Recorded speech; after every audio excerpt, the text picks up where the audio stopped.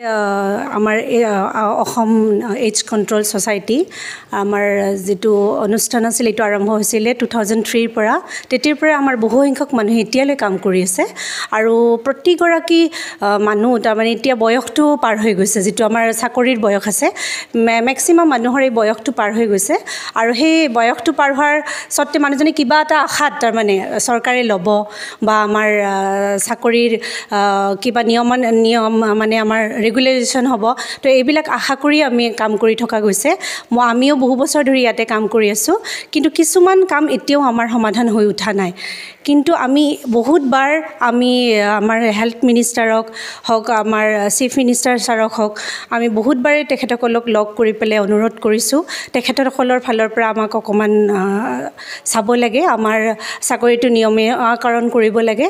যাতে যেনেকৈ N R H এমক বহুত গুৰুত্ব সহকাৰে লোৱা হৈছে সেইটো আমাকো কৰিব লাগে। কাৰণ আমিও হেল্থৰে এটা পাৰ্ট হয়। সেইটো হিচাপে আমি তেখেতসকলৰ ওচৰত বহুতবাৰ আমি দাবী জনাইছিলোঁ যে আমাৰ যেনেকৈ আমাৰ চবেই প্ৰতিজনগৰাকী মানুহে জানে যে এইডছ কণ্ট্ৰল বিভাগটো আমাৰ প্ৰতিখন ষ্টেটতে আছে।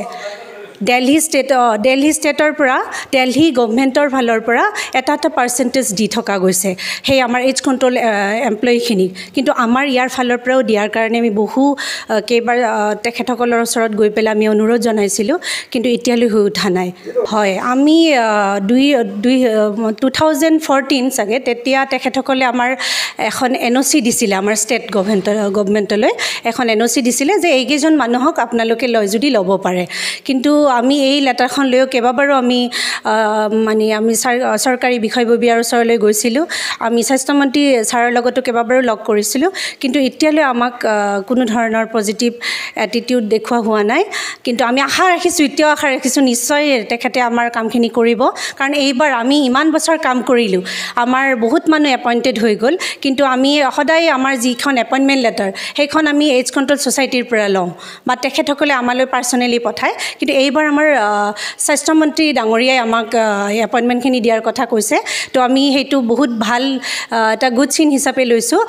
নিশ্চয় তেখেতে আমাক বহুত সহায় কৰিব ফিউচাৰত আমি সেই আশা ৰাখিয়ে আমি তাৰমানে এইবাৰ বহুত অনুপ্ৰাণিত হৈছোঁ যাতে তেখেতে আমাক আমাৰ যিবিলাক সমস্যা আছে সেইখিনি চাগে তেখেতসকলে নিশ্চয় তেওঁলোকে ভাবি লৈছে চিন্তা কৰিছে কৰিম বুলি।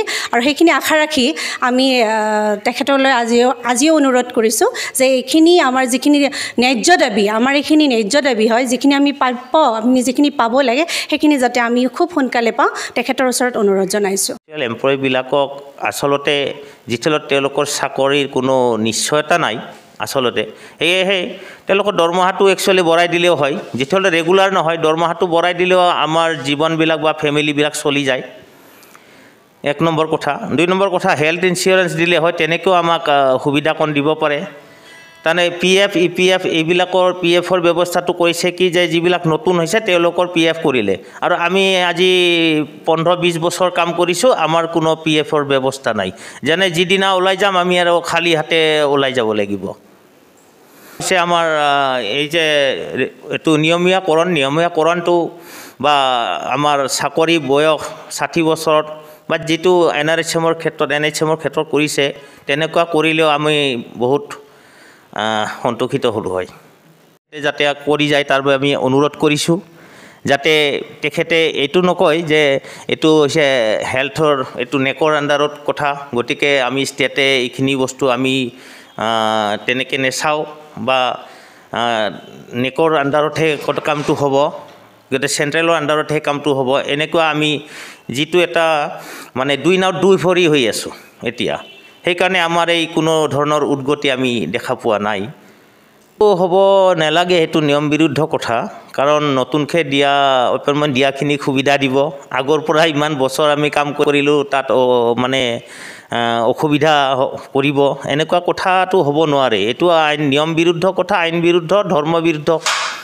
খিনি সমস্যা তেওঁলোকে আমি ভাবোঁ যে ভগৱানৰ কৃপাত তেখেতসকলে বা নতুনখিনি যাতে এই সমস্যাটোত ভোগ নকৰে।